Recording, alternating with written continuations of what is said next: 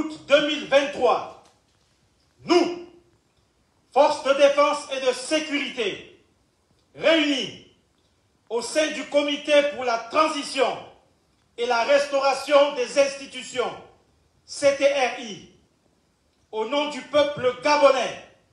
et garant de la protection des institutions, avons décidé de défendre la paix en mettant fin au régime en